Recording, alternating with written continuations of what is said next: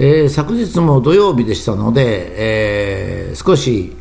えー、ゴミの日を覚えると3000年前のアーリア人の移動はどうでもよくなるという話をしたんですが、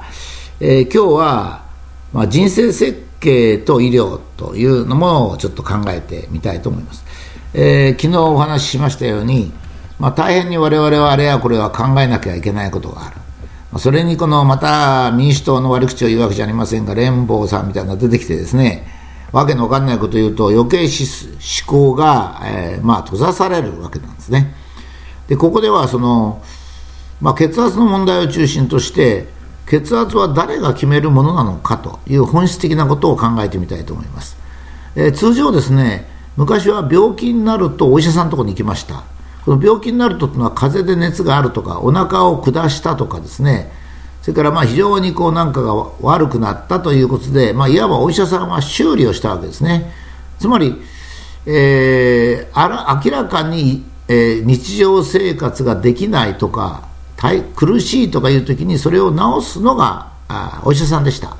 えー、つまりそれはですね何を言ってるかというと自動車で言えばですね、まあ、修理工ですね。お医者さんを修理工というとお医者さんがあの怒っちゃうんですね、えー、昨日もあるところにこの行きまして講演をしましたら、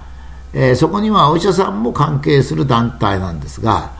えー、お医者さんだけは自分たちが喋ったら全部全員が書いちゃったんですねパーッと。で私の講演に残ってる人っていうのはお医者さんの関係のことをやってる人で、まあ、その時のお医者さんの帰る態度がもうえばってたですね。もうなんだ武田なんかなんだっていう感じでバーッと帰るっていう。あそれ思想的に僕の思想が嫌だっていうんじゃないんですよ、えー、俺たちは講演なんか聞く必要はないよっていう態度でしたね、まあ、こういった基本的なお医者さんの態度が、えー、だんだんだんだん健康志向になってきてから間違っちゃったんですね。例えば血圧ですね。血圧は今標準血圧130とか言ってますけどもこれは全く医学的にも根拠がなく社会的にも根拠がなく哲学的にも根拠がないんですね。まず第一にですね、えー、人間はだんだんだんだん年を取りそして、えー、体が変化していって、まあ、死ぬんですね、えー、こういうのは例えば老人医療センターなんかの本当の国立の専門の偉いお医者さんたちはむしろアンチエイジング。年に逆らって若くしようとかそういうことに反対しておりますね。やっぱり健康でちゃんとした人生を送るには20代は20代40代は40代60代は60代の体でいいんだと。それをまあ少し緩和するぐらいはいいけども極端にそれをアンチエイジングしてはいけないというのが、まあえー、今の老人学の医療の、まあ、専門の人はそう言ってますね。ですから例えば血圧ですと若い頃は血管が柔軟ですから体中に血を送るのに圧力はあまりいらないと、まあ、ところがだんだん年を取ってくると体が体が硬くなり血管も硬くなってきますね、まあ、血管の中にカスがたまるような場合もあります。そうしますとやっぱり圧力を上げて血を送らないといけないと。もちろん血の中には酸素があり栄養があり白血球があり、えー、がん壊死子があるわけですから。えー、そういったものを体に送る必要がある。そのために圧力を上げなければいけない。ということで、えー、かつては年齢プラス90というのが、えー、標準の血圧でした。これはまさに標準ですね。標準血圧です。つまり健康な人が年を取ると血管が硬くなるので血圧が上がるということを素直に認めたもので、えー、50歳ですと50プラス90ですから、140ぐらいが適切だと。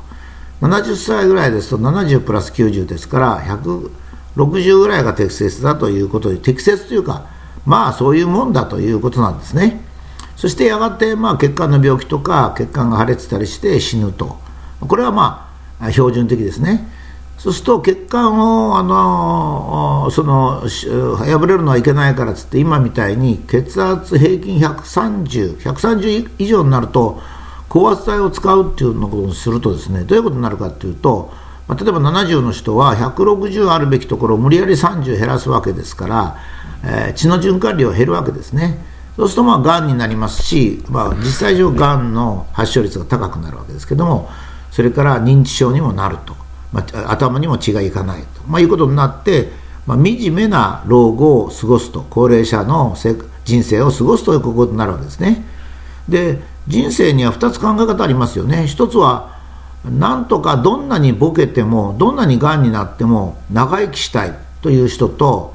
それからまあそんなことはしたくないと。まあ、人生ありのままに生きたいと。だから年齢プラス90の血圧でやりたいっていう人もいるでしょうね。逆に言えば年取って体が疲れてくるから年取ったらまあ血管が破裂する危険性はあっても血圧は高めに保持したいという人もいるでしょうね。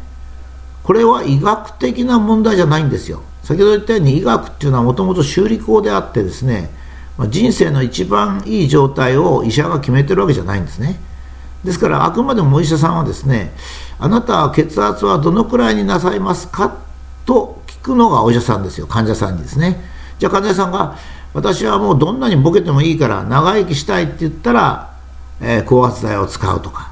私はまあ通常の人生を送りたいっつったらあじゃあ年齢プラス90ぐらいでいきましょうかとこうなるし私はまあできれば若い生活をしてピンピンコロリと生きたいと言ったら少し血圧を高めに誘導すると。つまりお医者さんのやるべきことは血圧を130以下に抑え込むことじゃなくて相手の国民の患者さんですね患者さんの希望を聞いてそれに応じるその医療をやる。っていう概念に変えないとねサラメタボだとか血圧とかコレステロールとか言って寄生虫を作って薬屋さんと結託してお金を儲けるということに、まあ、なるわけですね。だからそういったその間違った医療つまり医療ってもともとそういうもんじゃないんですからね。それでじゃああのお医者さんはお医者さんとしての正しいことをやってるかと思ってところであの平均が私の場合平均が年齢の平均が150 50で60であるってことは分かりますと。それから、えー、もあの厚生労働省が推奨しているのが130以下ということも知っておりますと。ところで私は病気でしょうかと血圧の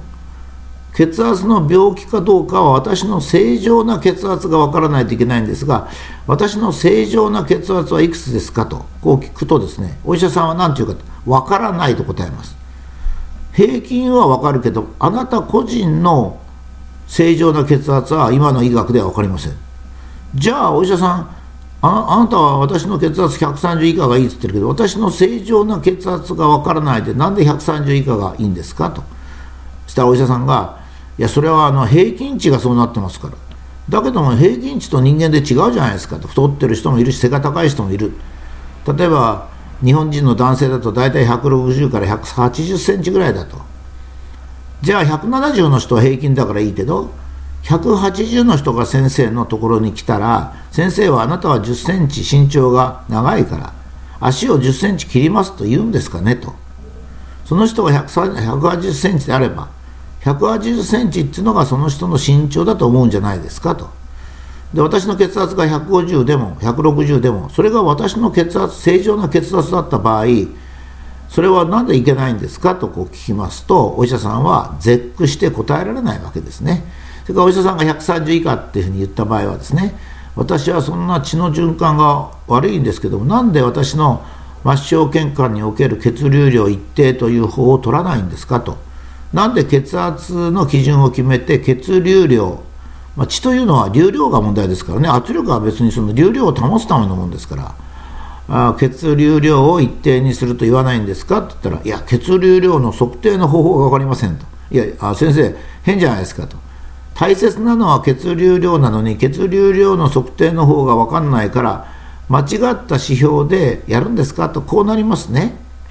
まあ、この今日のブログで私が言いたいのは人生設計と医療っていうのは非常に深く関係してる。かつての故障を治すという医療からですね。血圧の量がこうコレステロールのこう量がこうとタバコを吸ったらいいとか悪いとかいうようになった場合ですね。まあ、タバコは脳内のセロトニンとかドーパミンといういろいろなホルモンの調整をすると言われておりますから、えタバコを吸う方がいい長寿であるということは大いに関係あの可能性があるわけですから、まあ、そういう意味であの医者がですねやっぱりお金中心なのと一番最初話したようにあれほど傲慢ですとねやっぱり私は修理人ぐらいはできるけど修理工ぐらいはできるけどやっぱり人の健康を保つというような高尚の高尚な仕事はやっぱ医者は精神